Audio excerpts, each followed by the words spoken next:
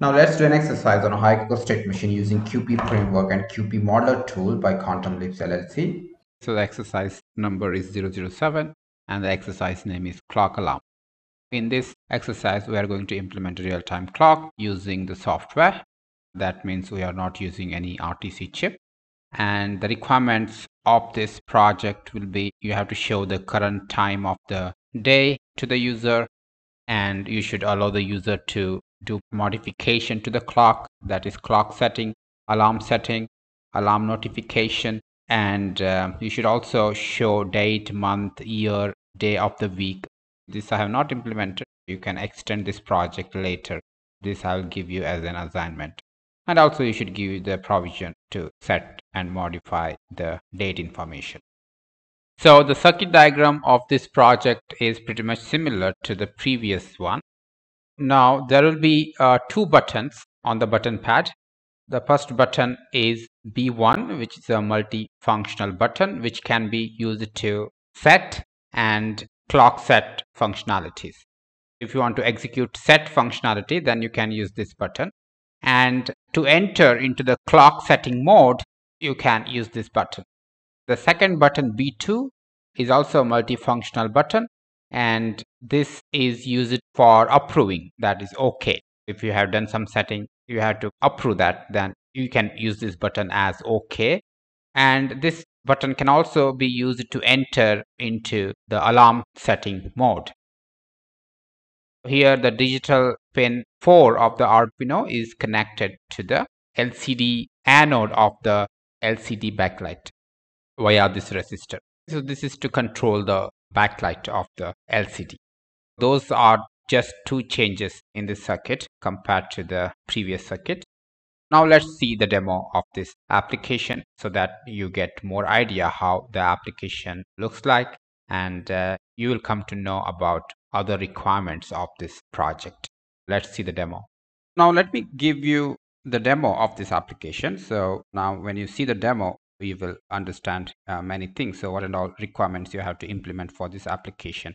And we are going to solve this application using the hierarchical state machine approach.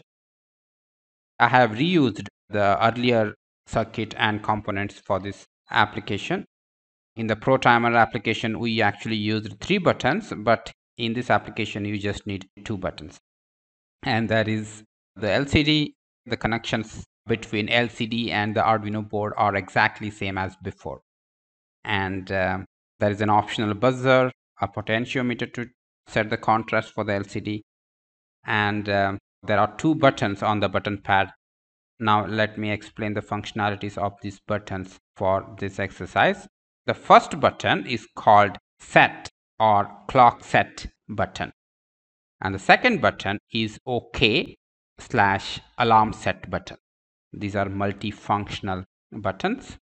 So I'll explain how to use these buttons in a moment. Don't worry. First of all, I have downloaded the application to the Arduino board and the application is currently running. Now let me just reset the Arduino board. And uh, when you reset the board, as you can see here, the application is currently showing the current time of the day. The current time of the day is presented to the user as you can see here. And the display format for the time is are minutes seconds and this is subseconds. So this also you must show. And also here you must display whether it is a 24 hour format or whether the time is in 12 hour format. If it is in 12 hour format you have to show whether it is am or pm and there is also a symbol. As you can see here this is the alarm symbol which uh, indicates that the alarm is currently on. So what you are seeing here is ticking mode.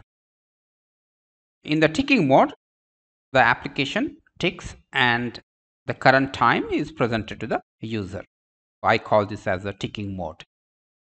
Now there is also one more mode and that mode is clock set mode. Suppose if I want to modify this time or if I want to adjust this time or if I want to change the mode of the time or time format then I can do that. So I have to go to the clock set mode. When the application is in ticking mode and if you press this first button that is for set bar clock set then the application moves to clock set mode. Let me show you that. So here you can see that now the application is in clock set mode in which you can change some settings and you can also see that the LCD's cursor is blinking on the first field of the R information. This is the first digit of the R. This is the second digit of the R like that. So digit wise you can enter new values here. Now it is asking you to modify the R information and you have to use set button. If I press the set button you can change it to different values as you can see here. Let me select 2 if this is OK, then you have to press OK. The cursor moves to the next digit where you can feed another value if you want. OK. It goes to the next field. So if you don't want to enter anything, just press OK. It goes to the next field like that. Here I enter 51. Now let's say you want to abort everything. So you don't want to set anything. Then you can do that so to abort this operation, you have to press these two buttons simultaneously. Let me press these two buttons simultaneously. So which aborts that operation and it comes back to the ticking mode. Right. So as you can see here, the clock is not delayed. Okay. So the clock will be ticking in the background, maybe using interrupts or timer interrupts or something. So the current time of the day is never disturbed. It will be ticking always at the background maybe using the timer interrupts. Now let me again enter to the clock setting mode. I press this. It takes me to the clock set mode and I enter some values here. Okay okay okay okay. And I enter some value here and then press OK and now it asks you to set the mode whether you want 24 hour format or 12 hour format. I'll go for 12 hour format and then you can press OK. So when you press OK, it actually comes back to the ticking mode. So now the time is modified. It actually took your new setting. Now let me again press the set button. Now it is in the clock set mode. So okay, okay, okay, okay, okay. And now let me change something here and press OK. And now let's say I set it to AM. Now let me press OK and now it says it's an error because the time is in 24 format and you are trying to set that to AM or PM information. That's why this format is wrong. So that's why it says error. When it is in the error mode, you can see that there is no response for this OK button. What you can do is you have to go back and modify this information what you had entered here. That's why ok button will not work here. And you have to press the set button. And when i press the set button it takes me back to the setting. And now i have to modify. So now let me make this as 24h and then press ok so now it takes the new setting so that's about the ticking mode and the clock set mode. Now, I think you understand what are all the requirements you have to implement for this application. And now let me explain one more feature of this uh, application that is alarm set mode. That is uh, provision to set the alarm. When the application is in ticking mode, if you press this button, OK bar alarm set, it takes you to the alarm set mode. Now let me press this button. Right. Here you can see that now the application is in alarm set mode. So the first line shows the current alarm. This is the current alarm set by the user. The second line must show the current time of the day. And you can also see that at the second line, the current time is displayed and in the first line, the cursor is blinking at R field and these symbols indicate that the application is in alarm set mode. Now I press again the set button to change this field. I set for let's say 0. Okay. 8. Okay. I'll set this for 54 Okay. And then okay and I change this to PM and then okay. And then it is asking me whether I want to turn the alarm off or on. So you can use the set button to either turn on the alarm or turn off the alarm I'll go for alarm on. Okay. Now the alarm is set for 8:54 p.m. now let's see whether alarm happens or not. It is close to 854 right. Now the alarm happens. And when the alarm happens it has to blink alarm message and it can add some other effects. Now if i press ok it goes back to the ticking mode. So now let me show you once again. So now the application is in ticking mode and now again i press ok bar alarm set button. And here you can see that at the first line it shows the current alarm set. That is 8:54 p.m. now let me set the alarm once again. So let me set it for 8:55 sorry. So now if you did something wrong here then you have to abort this. Here I did some mistake so I wanted to enter something but I moved to the next field. I cannot come back. Now that feature you can provide of course but I have not provided that feature. So now I have to abort this. I press the two buttons simultaneously to go back to the ticking mode and I can come back to this mode and uh, as I said this symbol indicates there is actually an active alarm so if you want to remove this then you have to go to the alarm setting and uh, press OK, OK, OK, OK and make this alarm off. Press OK.